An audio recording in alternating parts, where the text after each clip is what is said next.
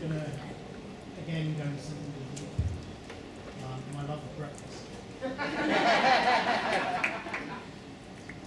this morning's breakfast of last night's meat piece, pizza cold was on the way to work. I drove from Lawton's rain and fog.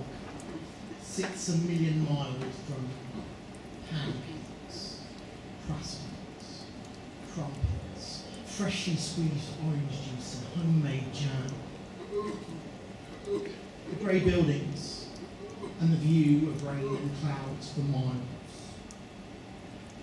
Contrast the view of sun-kissed roofs out to the sea and lazy summer days of warmth and sun and clear blue skies and suit and tie and proper shoes. Contrast t-shirt, jeans and trainers worn with battered pride and work and rain and proper shoes crush the dreams of summer. And pizza slices cold fill my mouth with flabby bread, tomato paste and congealed cheese, killing the memory of breakfast.